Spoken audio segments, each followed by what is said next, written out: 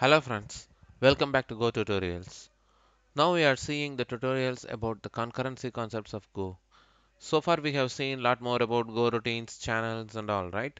So now we are going to see a new concept called wait groups. So wait groups are nothing but some special mechanism in Go language to keep on a collection of Go routines to finish so in other words, what we can say is the entire control of the flow is blocked for the go routines to complete. If once the go routines are completed, then the main go routine will continue its work. So in order to maintain a collection of go routines, collection of go routines to complete their work. So what will happen? Wait groups will wait until a collection of go routines completes their work. So what will happen? What will happen?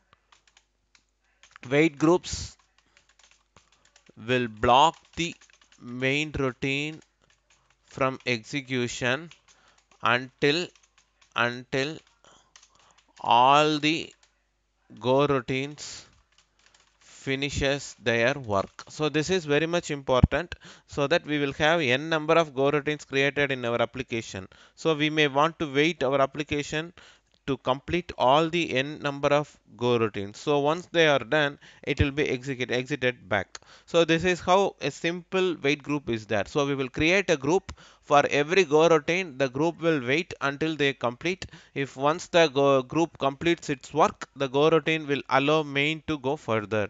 So this is what we are going to see in the next session. That is the forthcoming session in the programming area. Let us open the command prompt. So I am just increasing the font size. So now I'm switching over to the Go demo folder. So inside the Go demo folder, what I'm going to do, I'm simply creating a file which is called as wait. So wait demo. So I'm naming the file as waitdemo.go. Here as usual, I'm going to add package main. Here I'm gonna import fmt as usual then here it is the function main. So what we are going to have? We are going to have a go routine now. So i am going to name my go routine as display. This is an another function. A go routine is nothing but one more function we are creating. Okay. So what i'm going to display here? So just i'm going to print format dot println okay. So format dot println inside start start. Again format dot println end. So i have a go routine with the two words. One is start and another one is end. As simple as this. So from inside main what we usually do we used to call the code as go display. So this is how we used to call every time right? So here here after this what we will print? Format dot println exiting main go routine. So this is a simpler code we have seen in previous sections, right? Exiting main go routine, right? So this code is as simple as this. Now what we are going to see is we are going to make a call for the display code in a loop. That is, we are going to create, for example, five calls for the display go routine.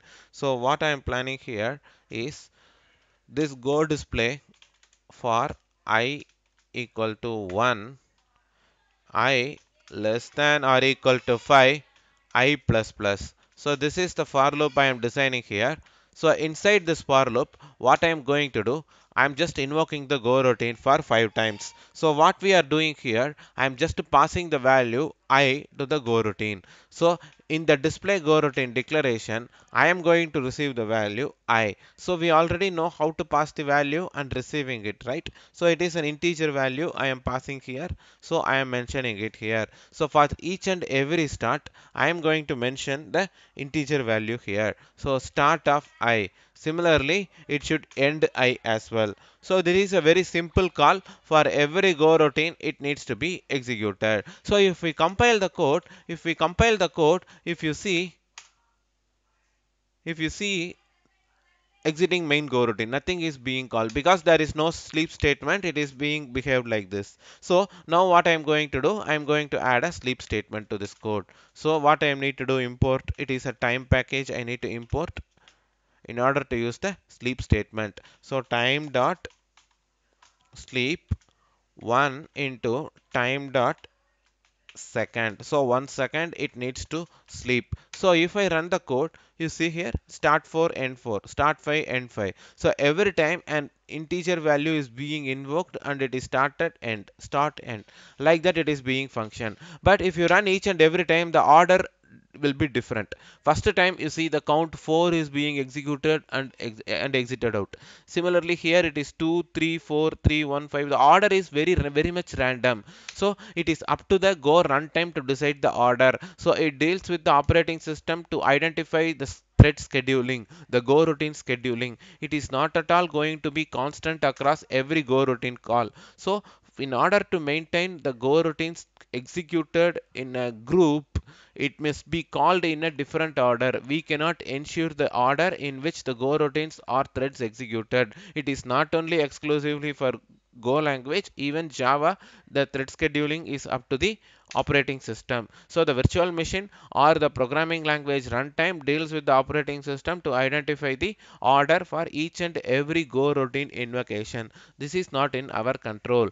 Now, what we are going to do is we are going to keep main in a waiting state. We are going to use a wait group for this all five go routine calls. So we are calling go routines for five times. So we are going to make main wait for five times. Now what I'm going to do, I'm going to remove the sleep statement from here.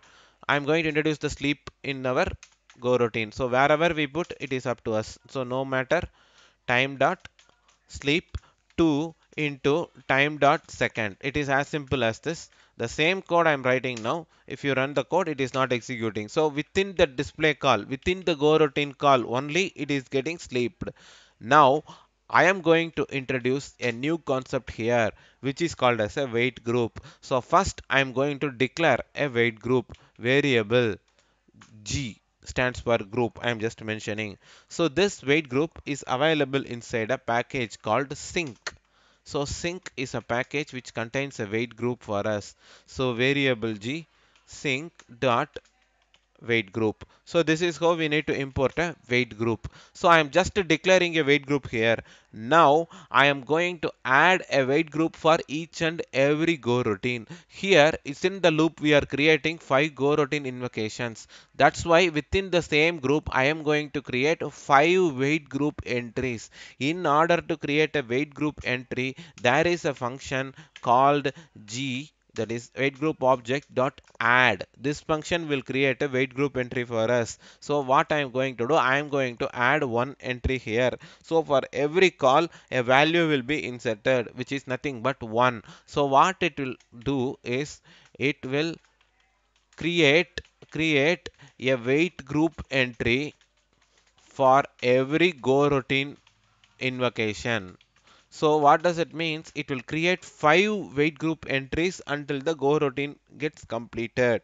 Right. So now we have created go routines and it is being executed.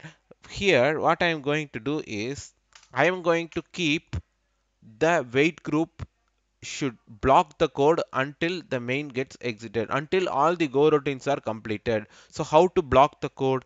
It needs to block it using the wait statement. So this is a blocking call.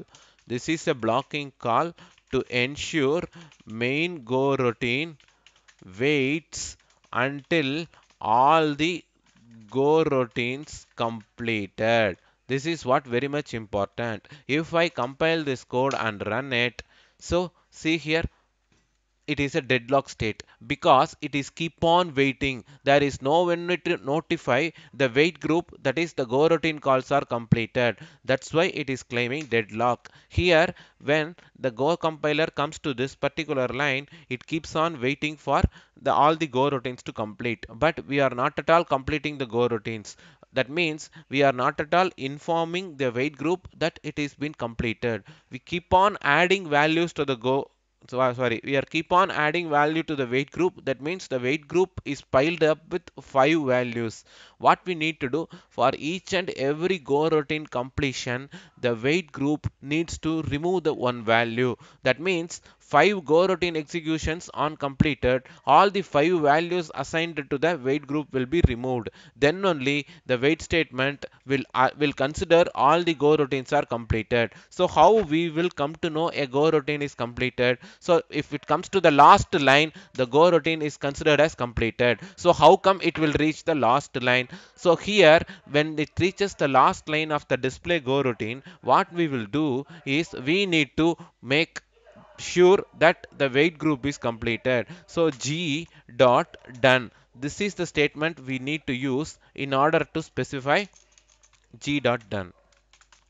This is the statement we need to use in order to specify yeah specify the wait group about the completion of a go routine. So for each and every time when the display go routine is invoked, a done statement is invoked at the last. This will notify the wait group that this particular go routine has completed. Then only for each and every call, the five calls of go routines will notify the wait group five times at the end of the go routines. Then only the wait statement will understand so that all the wait group all the wait groups are completed. That means all the go routines are completed with relevant to the wait group entries.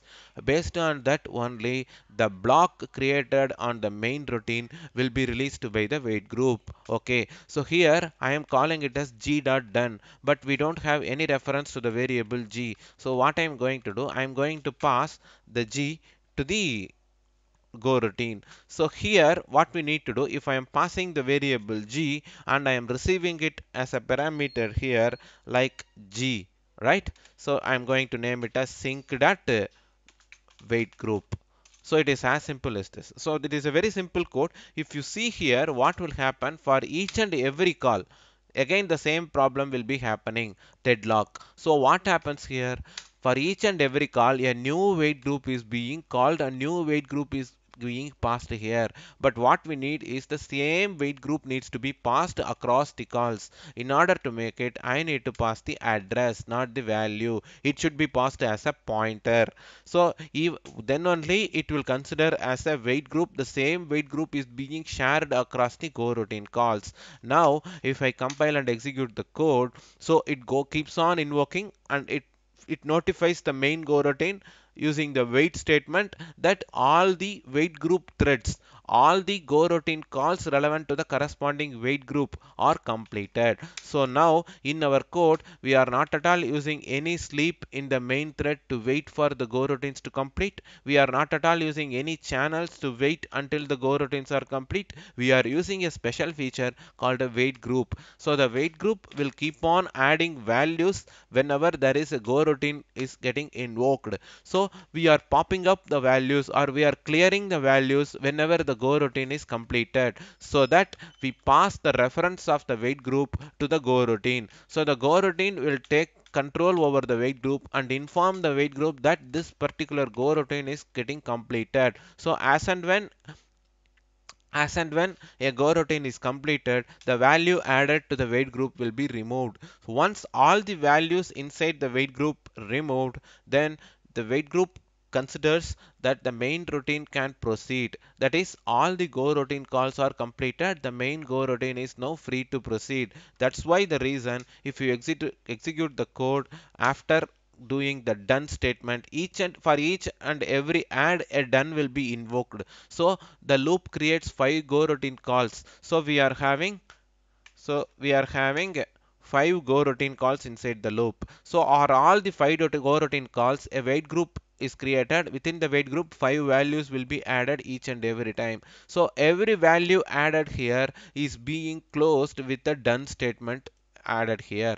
So every value added must be notified with a done statement which will specify the go routine has been completed its process. This will help the wait group to maintain the order of go routines or the life cycle of go routines or the execution of go routines with relevant to the main routine. This is what very much important when dealing with multiple threads or multiple go routines in our application. So as we discussed earlier, wait groups are nothing but group of values which are used to control or which are used to maintain the state of go routine calls. So it will keep the main go routine blocked until all the other go routines have been completed.